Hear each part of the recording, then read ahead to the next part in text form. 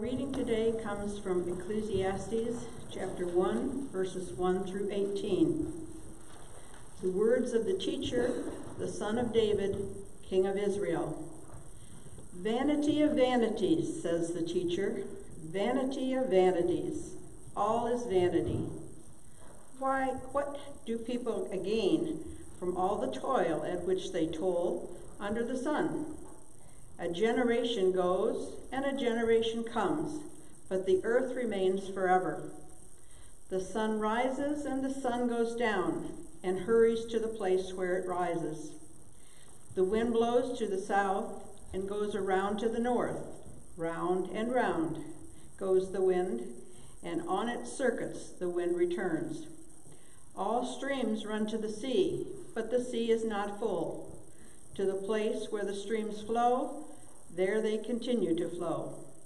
All things are wearisome, more than one can express. The eye is not satisfied with seeing, or the ear filled with hearing. What has been is what will be, and what has been done is what will be done. There is nothing new under the sun. Is there a thing of which it is said, See, this is new? It has already been in the ages before us. The people of long ago are not remembered, nor will there be any remembrance of people yet to come by those who come after them. I, the teacher, when king over Israel and Jerusalem, applied my mind to seek and to seek out by wisdom all that is done under heaven. It is an unhappy business that God has given to human beings to be busy with. I saw all the deeds that are done under the sun, and see, all is vanity and a chasing after wind.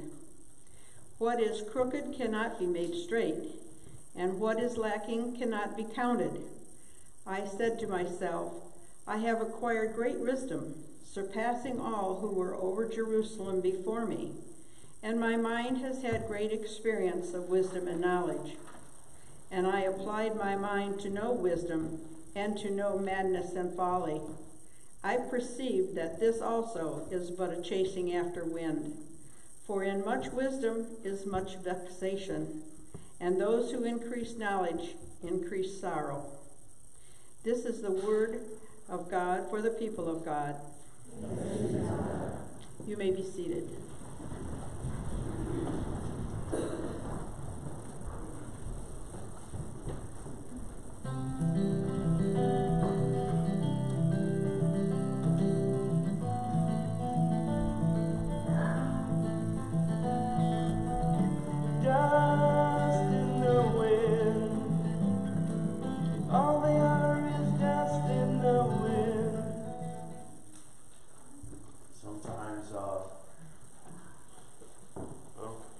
Sometimes I get um, amazed by what Dax picks for music. But that one, uh, I think it's all right. Yeah. Well, at the end of the day. So we're getting ready to move in Ecclesiastes, um, which is a, a, book in the older part of the, the Testament of the 66 books. What we'd say it's towards the beginning if you're looking uh, uh, for this book, I believe. Um, somewhere right after uh, Psalms, right? Correct? I don't know. I don't memorize all the different books in what order. They do that in younger people, and so um, and so it's in, it's in there. It's a book that is written by uh, what we we well. There's two thoughts. One, we believe Solomon wrote it, which is um, the son of King David, who kind of put everything together once and for all, put Israel together, made it a mighty nation, and then his son was next, Solomon, and Solomon was given. Um, everything in the world, but he wasn't giving it to it right away when he was younger. Um, God came to him and said, Solomon, ask me of anything and I will give it to you. Man, talking about a genie in a bottle, right? I always think about what would I, if I had one thing I could ask for, what would it be? You know, and honestly, I went straight to fame and money and things like that when I first became a Christian and started thinking about it. And then, of course, Solomon, because he's him, he goes wisdom. So give me wisdom. And then God's like, oh, what a great answer. Great answer. Because you asked for wisdom, I'll give you everything. And so this particular man was the wealthiest of the wealthiest, the smartest of the smartest, has done more than anybody else. And uh, there's there's great stories about people even today trying to find his treasures. So that's just how that, that piece goes for this, this guy. Um, and so um, we believe he wrote this book. Uh, Solomon wrote it because it's part of the wisdom uh, pieces of literature. But uh, truth of it is, uh, we can debate that piece too, uh, who wrote it. But we'll give him credit because the majority of everybody says so. So we'll see. So this man writes this book, and he writes Ecclesiastes as the very first and only doobie doobie down book in the entire Bible. Amen. It's an uh, answer to the meaning of life. Straight up. So 12 chapters of trying to figure out what life is and what its meaning is. And if you just got a taste of it, first chapter, um, he starts out with vanity, vanity, it is all but vanity, right? Another translation would mean meaningless, meaningless. Everything is utterly meaningless. There is nothing new under the sun. It's just, uh, what a way to start a chapter out. It really inspired me to keep reading for you guys. Be honest, I started reading again Thursday after I started Sunday. I'm like, oh, I'm putting that away.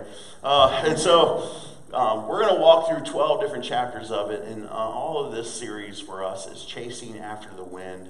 And I'll explain that a little bit more. But uh, we're coming up on Easter.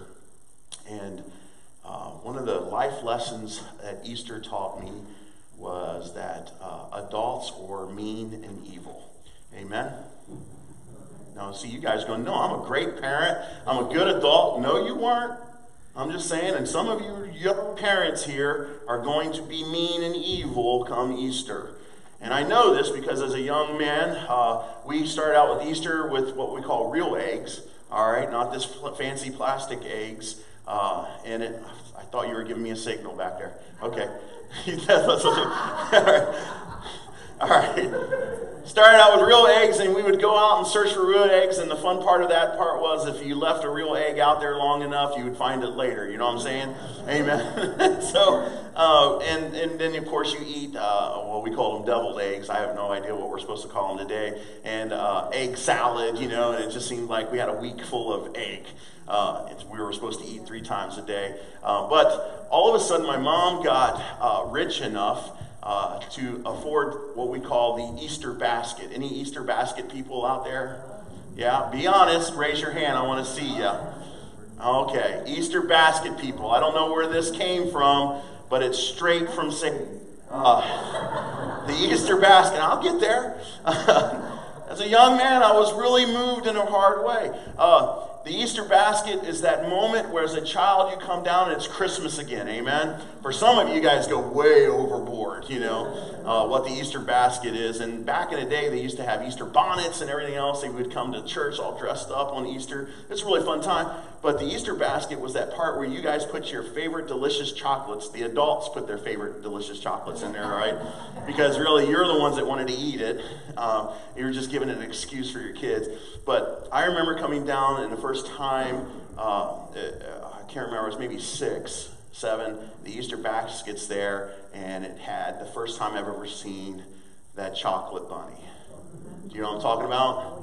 Oh, now this is where evil comes in.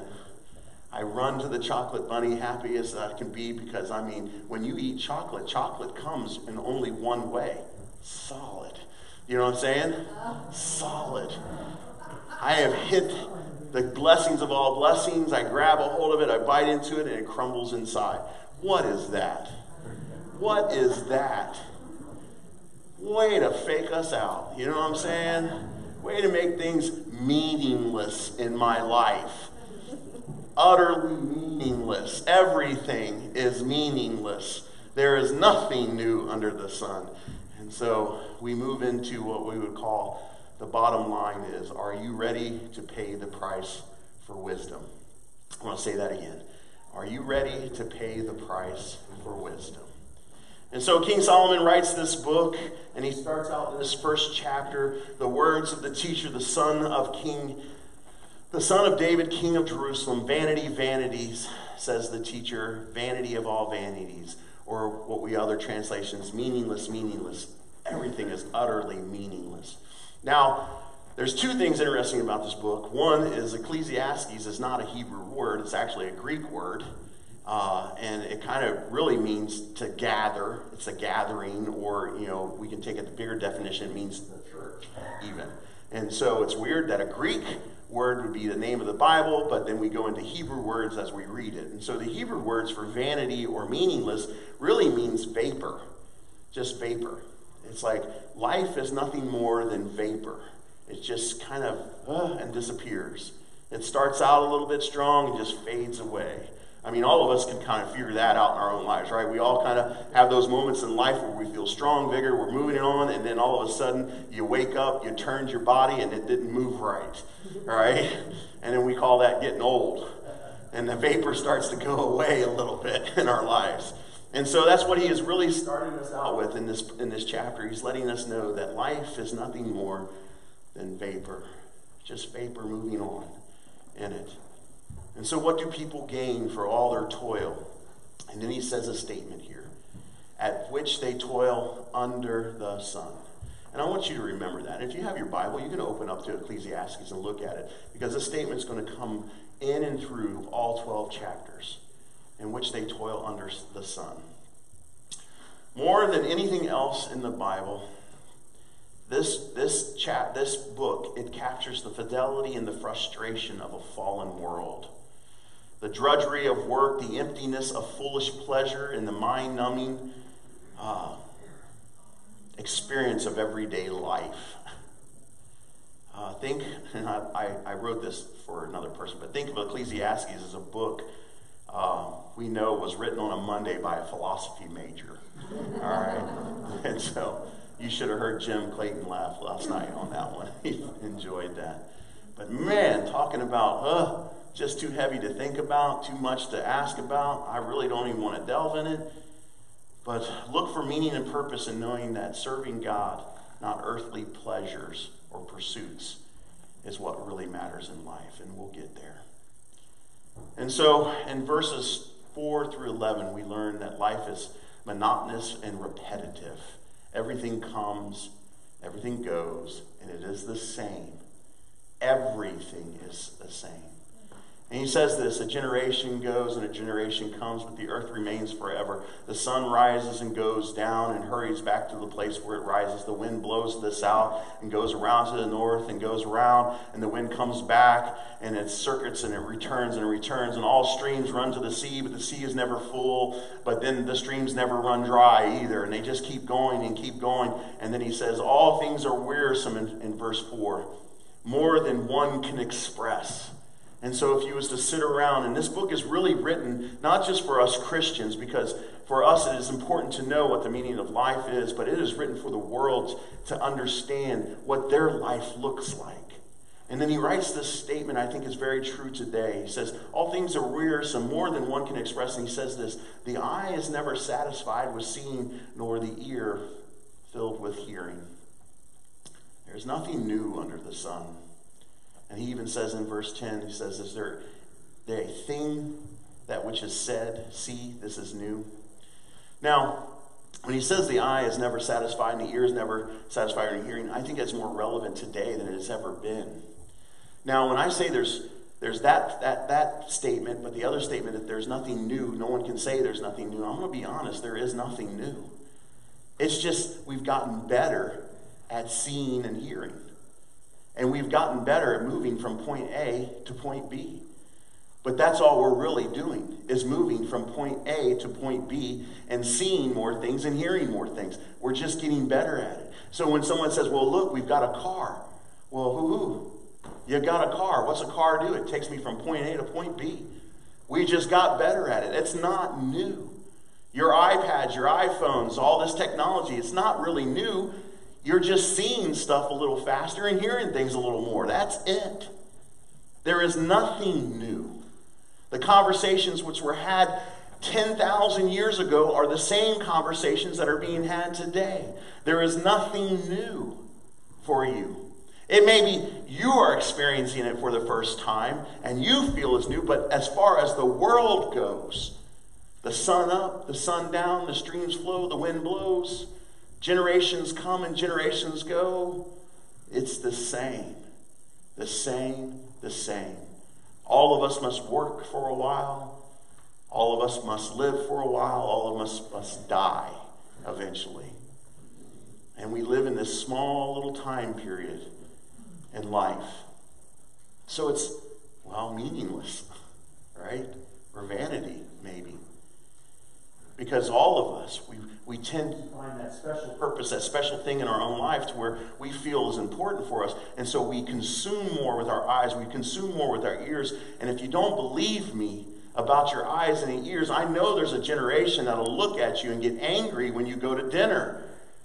Because they're eating their dinner and having a conversation. Your face is full of a device trying to consume more stuff with your eyes and hear more things with your ears. You're never happy enough. You're never satisfied with enough. Everything must be given to you faster and quicker.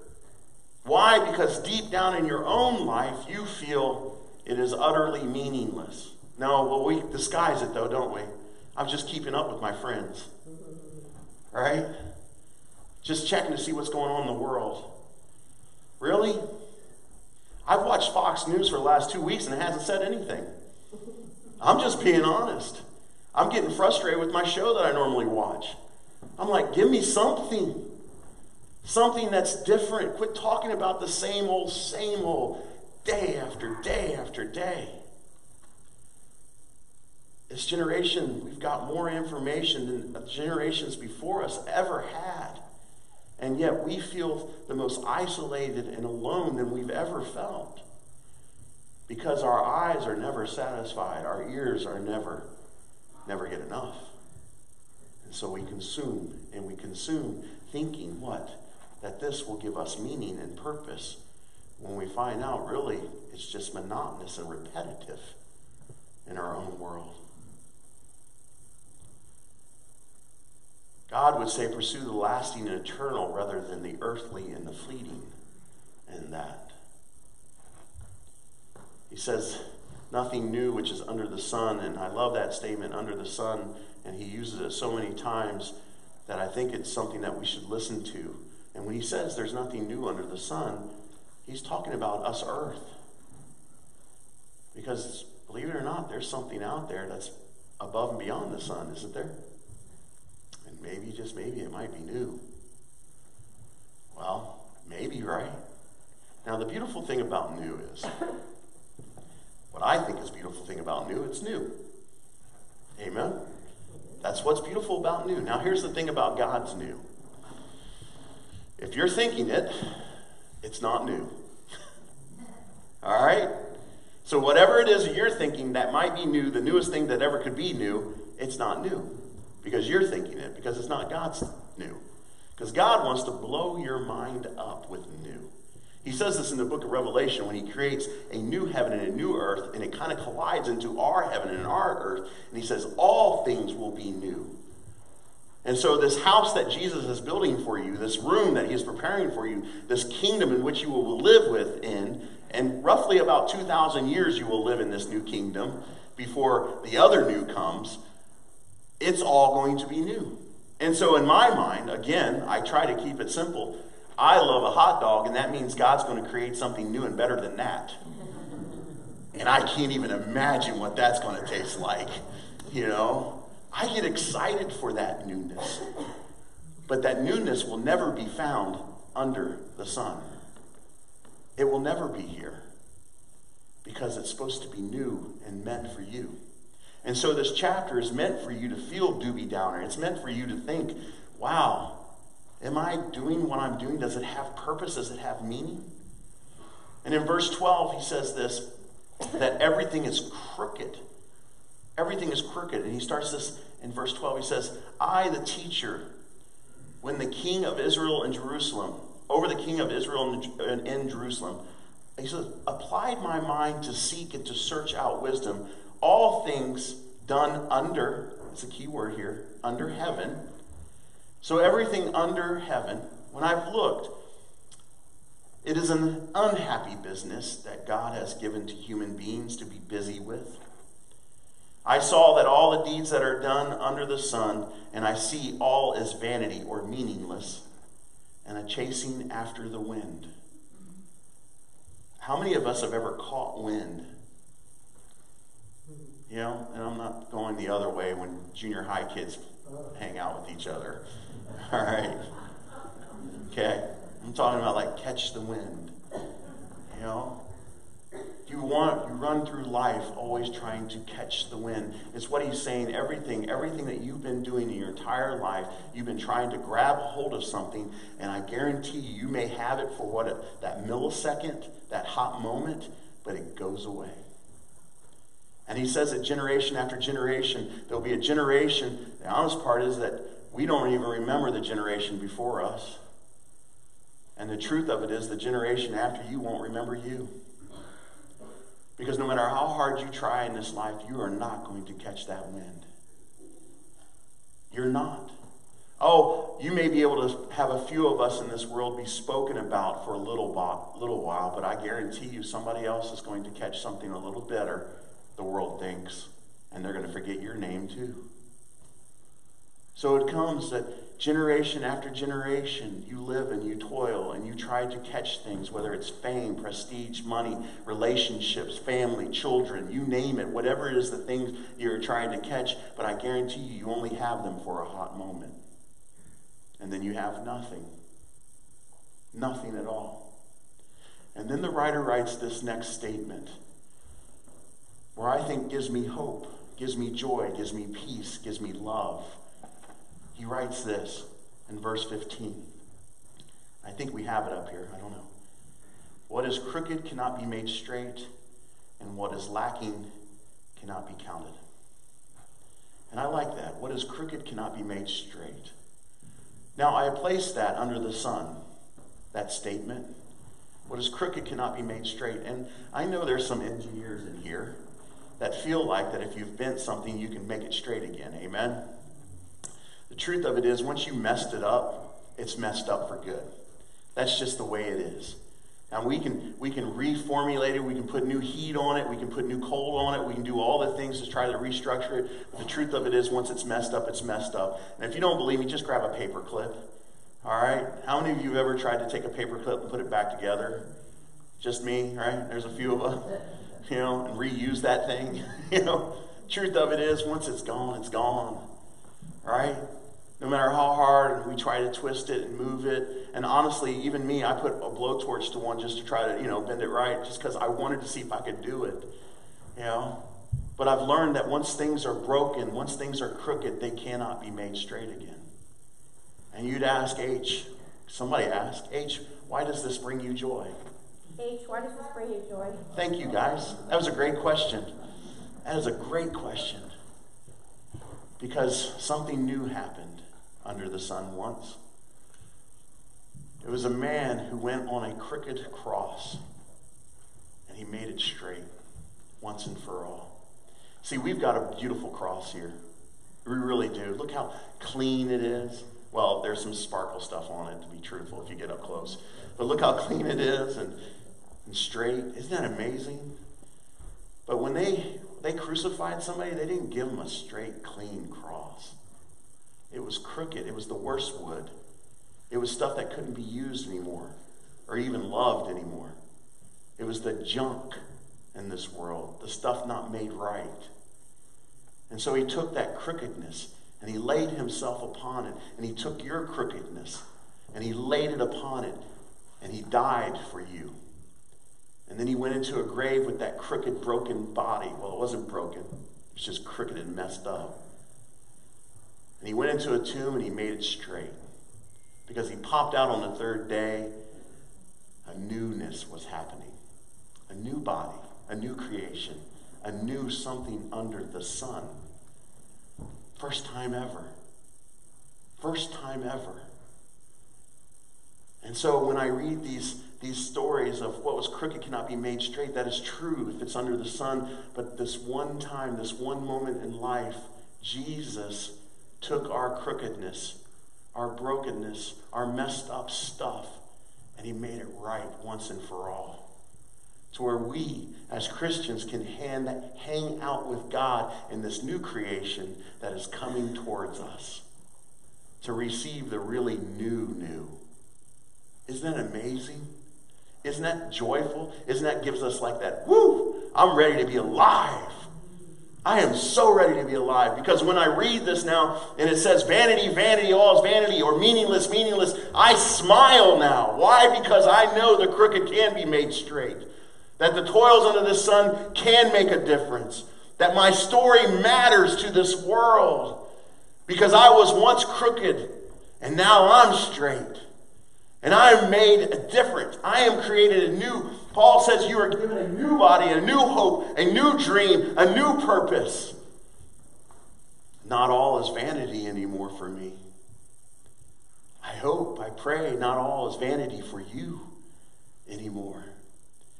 So when you read these stories and you walk through this, you remember whatever you get whenever you get frustrated sad angry or disappointed with everything in life that is going broken falling apart and going wrong you remember that when you feel overwhelmed and you are tempted to wonder why should he even bother with my work with my relationships with my my faith that you were made new and better because of Christ?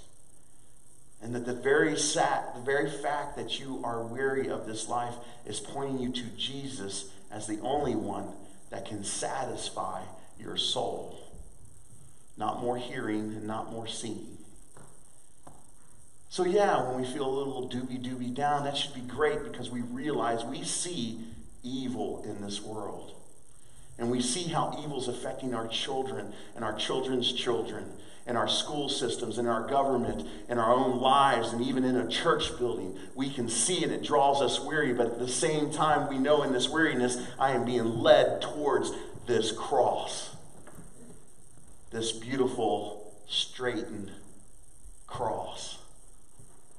And now I have hope, I have joy. The author would say the more you understand, the more pain and difficult you experience. And I'll say that again. This is this knowledge of life. The more you understand, the more pain and difficulty you experience. Knowledge is not a good thing sometimes. Amen.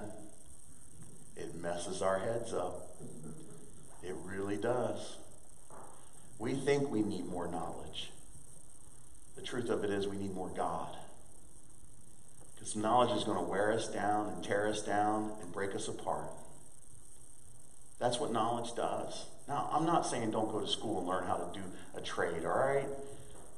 I'm just saying just, just everyday knowledge that you think you need more than the other person. Because all you're going to do is find out this world is broken with a bunch of broken people. And if you really chase that rabbit all the way to the end, you are going to be that philosophy major on a Monday morning. You really will. And you're going to need a whole lot more than you think.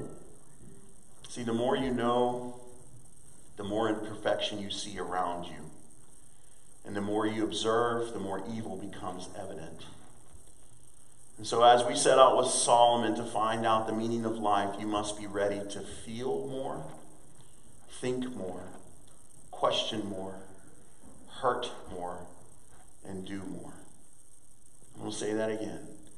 As we take this journey in these next 12 chapters, you must be ready for this to feel more, to think more, to question more, to hurt more, and to do more.